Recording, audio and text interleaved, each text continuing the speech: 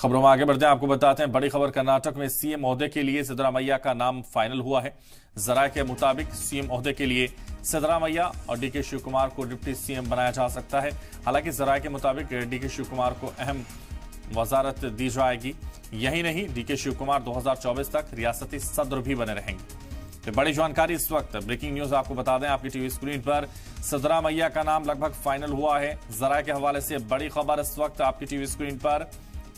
तो बड़ी खबर आपको बता रहे हैं, कर्नाटक में सीएम महोदय के लिए सदरा मैया का नाम लगभग फाइनल माना जा रहा है। जराये के हवाले से यह खबर इस वक्त आपको बता रहे हैं। मुताबिक जिस तरह से सीएम ओहदे के लिए सिद्धरा मैया और डीके शिव कुमार को डिप्टी सीएम बनाया जा सकता है।